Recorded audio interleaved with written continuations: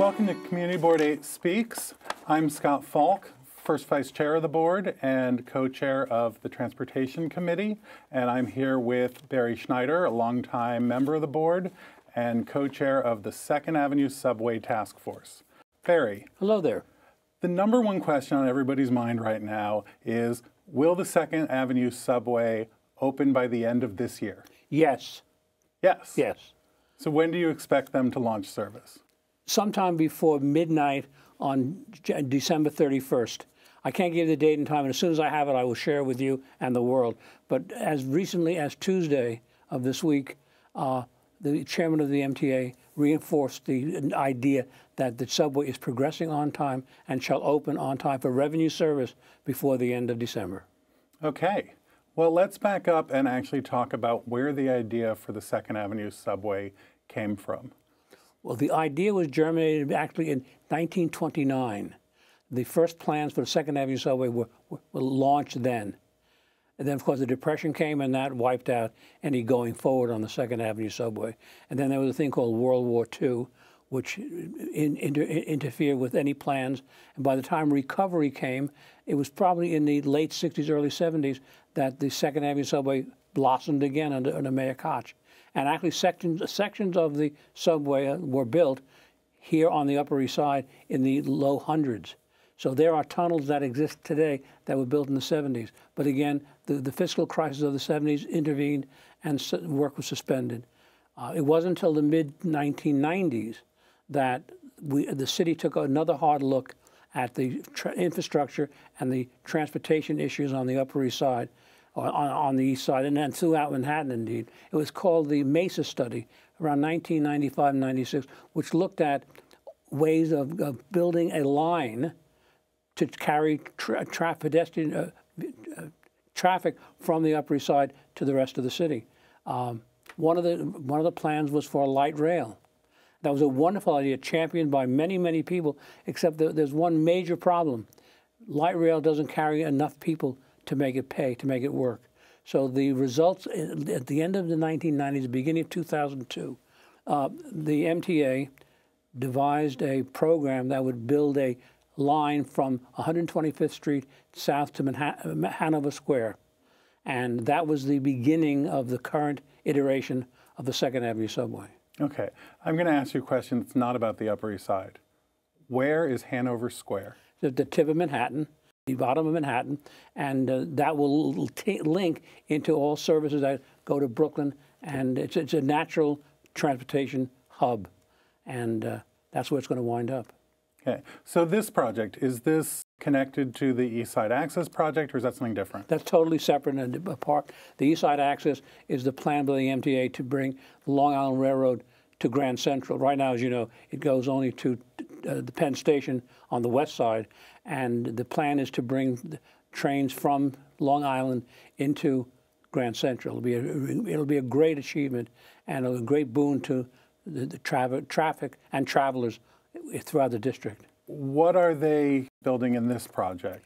This is a, a two-line subway, a north and a southbound. The, as I say, it goes from 125th Street to the to Hanover, Hanover Square, the tip of Manhattan. Currently, what we're looking at now is called Phase One, which from 96th to 86th, 72nd, and 63rd and 3rd. And then that will tie in to the existing Q line. And so the next stop after 63rd Street is 57th and 7th, and then Times Square, Union Square, and south. And if you have the persistence, you can sit in your, in in your seat on that train that you get on at 96th Street and get over Coney Island. That's the last stop on the line. That's going to be called the Q line. When the full build is actualized, realized, imagined, it'll go from 125th to uh, Hanover Square. That'll call the T line. But now phase one is the Q line. Okay. So do you know when they're going to take the Q line away from uh, 59th and Lexington Avenue? Do not know. Okay. I hear they're bringing back the W train. That's what I've heard. I yeah. was a fan of the W train. Oh, well.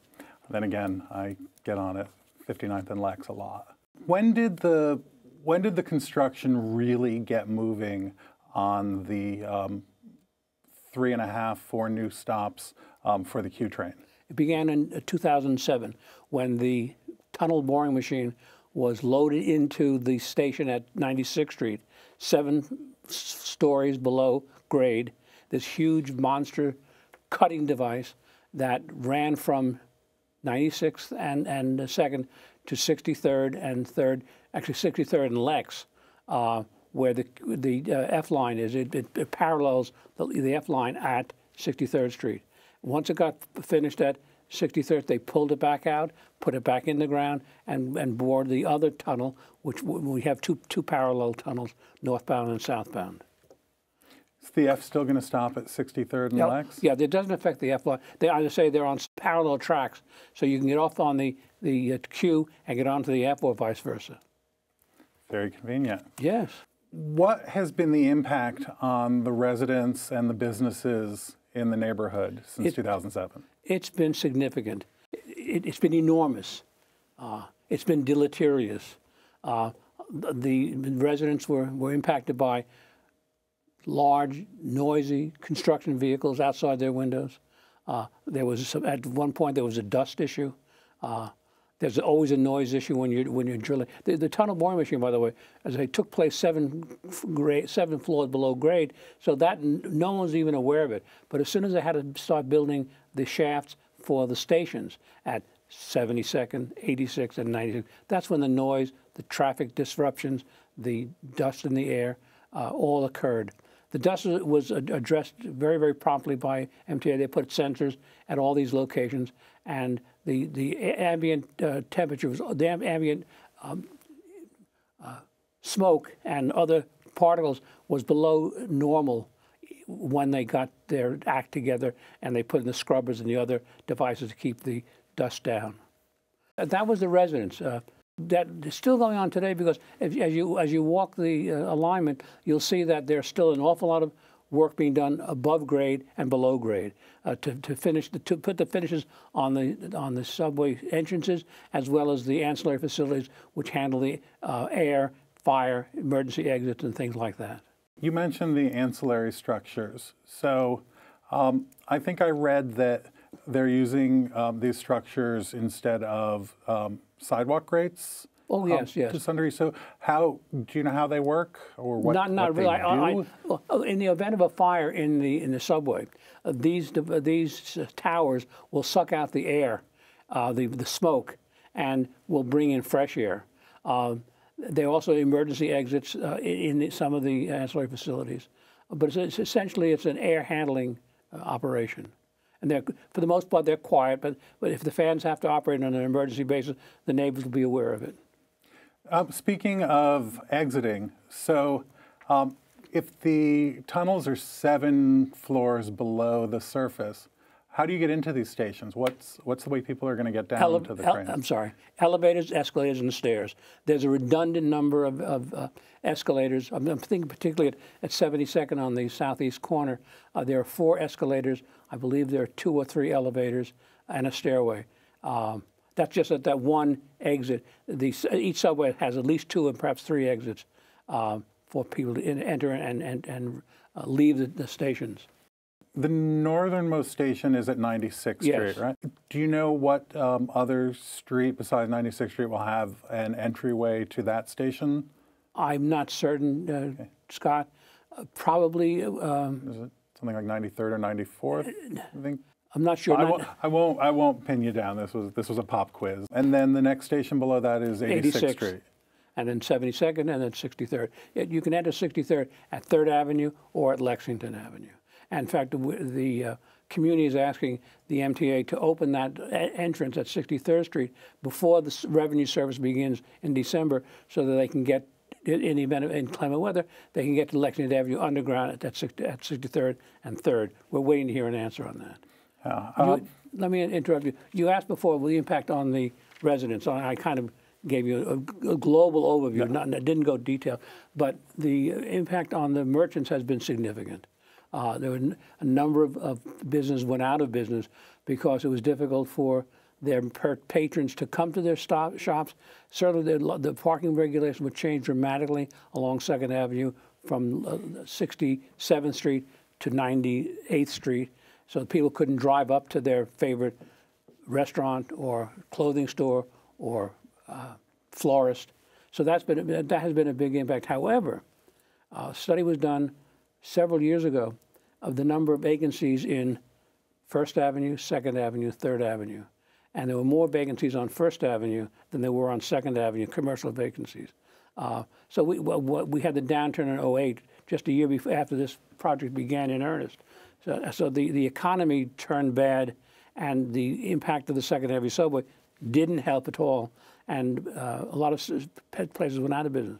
The bright light is in the last year or maybe 18 months, this has turned around. More and more stores are coming into the area on Second Avenue. There are more buildings being built. There's a high rise on 72nd and First called the Charles. It's probably the most expensive real estate square foot for square foot on the Upper East Side. And that was built in anticipation of the Second Avenue subway being an, an entrance at 72nd and, and Second, and this building at 72nd and First. And we've seen that up and down the alignment. Business, businesses are coming in, buildings are being built. Uh, the real estate is, is, thriving now in this general area because of the Second Avenue subway. We didn't mention that what the Second Avenue subway will mean to the average rider. If you're on the Lexington Avenue line these days, you know how overcrowded it is, 118% perhaps. Uh, with the with the opening of the Second Avenue subway in December of this year, I say December of this year, uh, 200,000 people a day will use that train. And they will take off a considerable number from the Lex line. So the Lex line will feel the positive impact of the Second Avenue subway. I watched an episode of CB8 Speaks from several years ago when they were um, bringing out the tunnel boring machine and starting to actually dig out those tunnels and I think I remember you saying that in 1929 they thought the Lexington Avenue line was getting a little overcrowded, and that was one of the reasons that they might need an additional line on Second Avenue. Well, they, they had a, they had a century of foresight because now in 2016 we'll have that Second Avenue subway, which will relieve the overcrowding to, to a degree on the Lex line. Again, the city's growing by leaps and bounds. We're now at 8.6 million people, I believe and the use of public transportation, particularly the subway, is exploding. It, it's haven't seen anything like this since World War II. Who do you think we can thank for getting this project really moving forward? It seems like it took them, you know, uh, more than 75 years to get from uh, the idea picking up steam to the um, steam shovels actually coming right. out, as it were. The decision was made at the highest level at, at the uh, state level because the MTA is a state agency. Uh, but this doesn't happen unless you've got funding. And funding was critical. And the, the one individual who was outstanding in the very beginning and has continued her support to this moment is, is Congresswoman Carolyn Maloney. Carolyn has been an outstanding champion for the Second Avenue subway since it, it got started somewhere in the in the mid to late 90s when I mentioned the MESA study.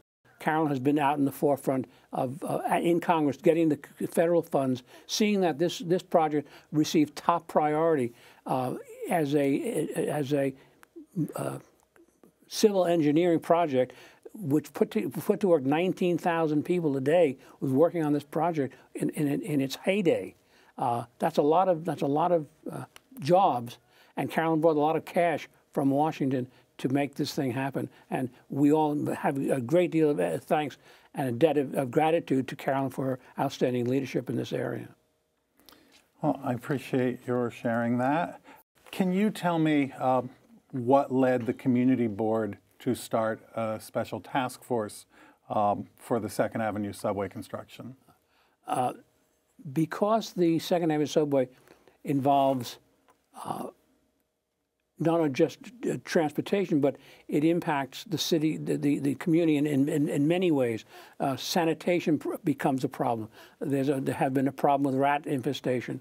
Uh, when the, the um, merchants who put out their garbage, their trash at the end of the day, may not secure it properly in a different location, and that has led to a growth of the rat population. So we had to deal with sanitation. Uh, the air, the air quality was an issue. That's an environment issue.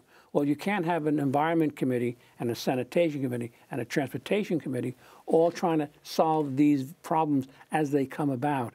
uh, it would become a, a, a, management nightmare.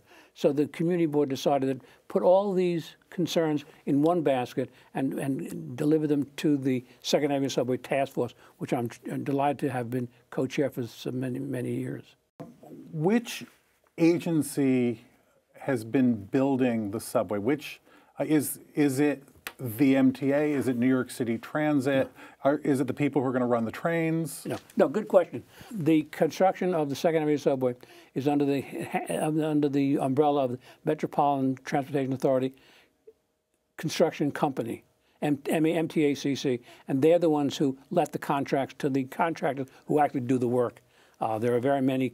There, I think, I think there were six major contracts to build this subway, and uh, uh, various contractors bid on the contract and then we were awarded the contract.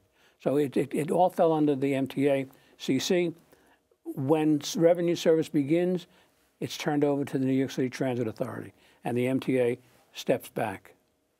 Okay. Well, we're looking forward to that day coming up very soon. It I should be a happy new year. As we tape this, I think that's uh, roughly 100, uh, 110 days away. Yeah um, New Year's Eve. Um, so, what do you think the impact will be um, once they actually launch service um, at these new Q stations? Well, I, I know the they're going to have 200,000 people a day using the service, so that's good. Um, the, the, the, one of the uh, impacts of the construction was the tearing apart of Second Avenue, and part of the contract that the MTA has with the community, if you will, is to restore Second Avenue to the way it was before and better. So if you, if you go walk Second Avenue now, you'll find that the sidewalks in many cases have been replaced. The, the road beds have been re, retarred and, re, and repaved. Um, there'll be new light fixtures coming in, LED fixtures, the new the city standard, uh, which can be tuned, fine-tuned. They can be focused so that the, the glare of the LED light does not enter people's apartments. Uh, there'll be benches, there'll be bike racks, there'll be trees and tree guards. The Department of Parks and Recreation has a, a, a plan to replace all the trees that were taken down. There's something like 200 uh, some odd trees taken down. They'll be replaced by a thousand trees.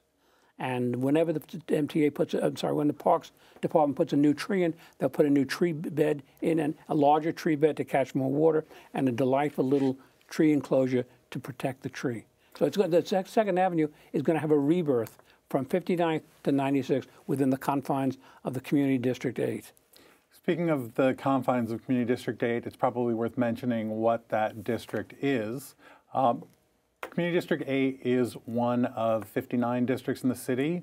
There are 12 in Manhattan, and uh, Community District 8, which Community Board 8 um, handles, represents the area from Fifth Avenue east to the river, uh, from 59th Street north to 96th Street, as well as Roosevelt Island. Right.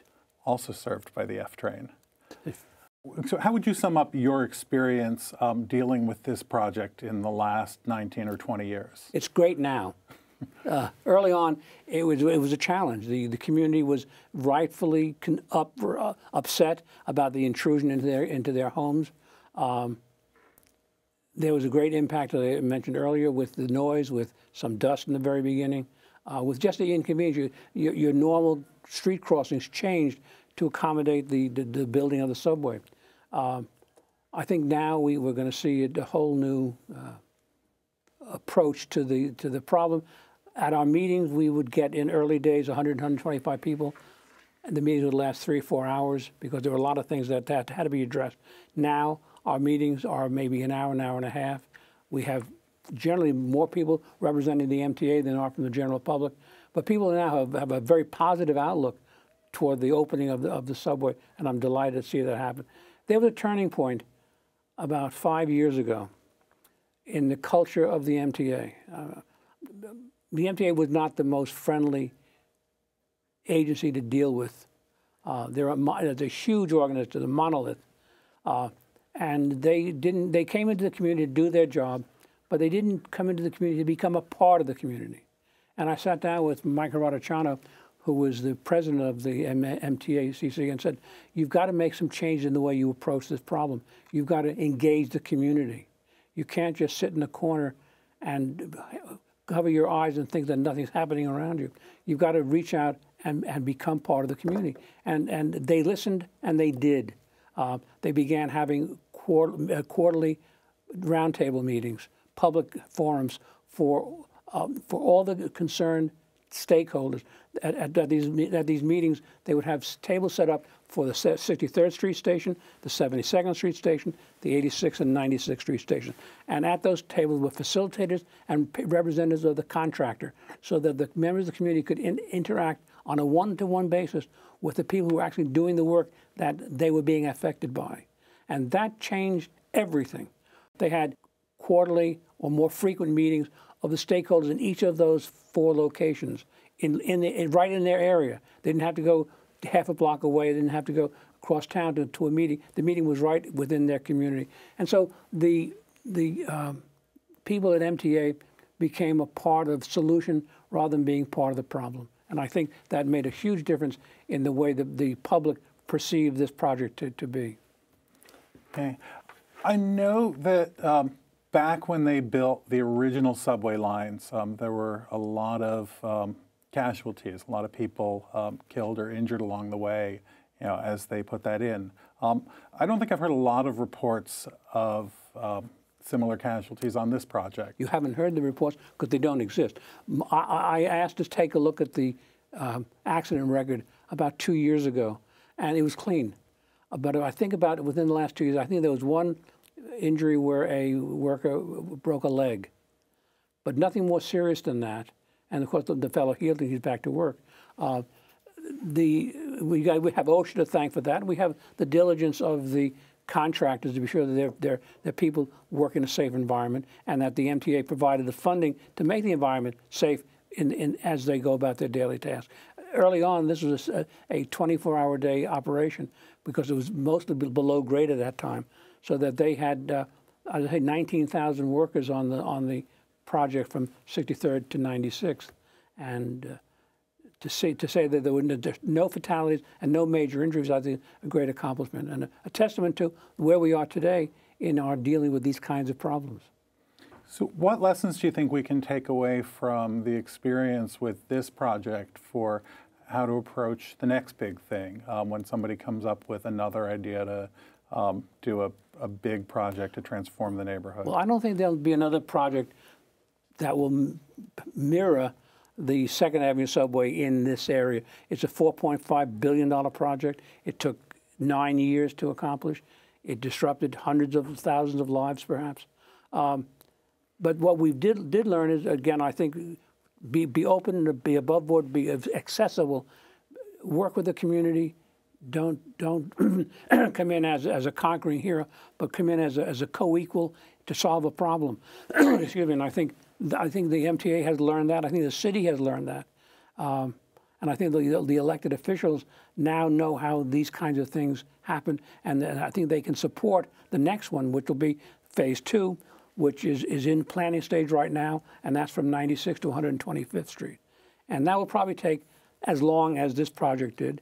It won't be cut and it'll be cut and cover for the most part. It will not be the, the, a tunnel boring machine. So it'll be there'll be disruptions in the community. But again, I think the MTA has learned how to deal with it rather than to turn its back on it. So when you say that you think the phase two will take as long, I'm assuming you don't mean you know uh, from 1929 to 2016. No, no, no, no. About 10 years about of 10 construction. Years, yeah, and I think we saw the clock now because I know the MTA has put together a, a, a team to do the preliminary uh, uh, examinations and studies. So that, that's that's that's beginning now. The, it has been funded by the state.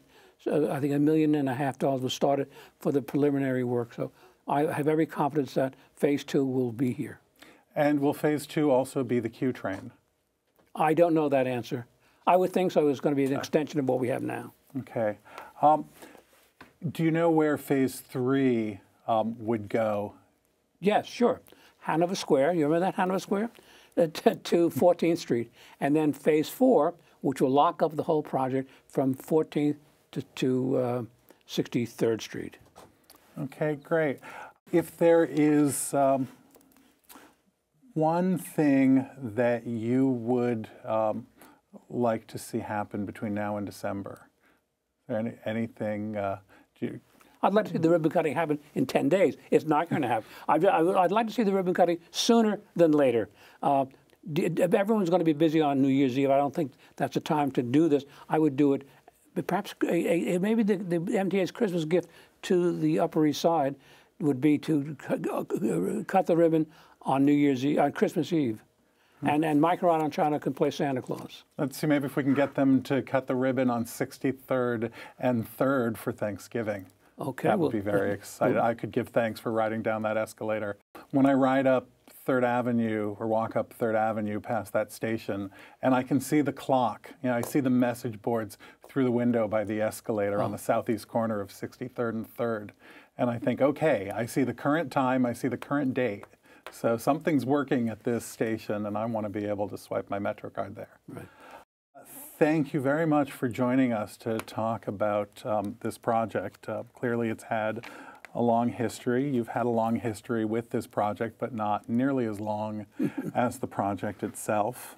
Um, and I very much look forward to riding the Q with you. I uh, shall. Maybe we can make plans to, to ride down that escalator at 63rd Street. We'll do it together. All right. Thank you very much. And, uh, you know, uh, please be sure to go to the Community Board 8 website at www.cb8m, like Manhattan.com, so you can sign up for our email list so that when we actually have news about the launch of the Second Avenue subway, um, you'll be able to get that email blast from us and find out when you can join us on the Q train. Thanks.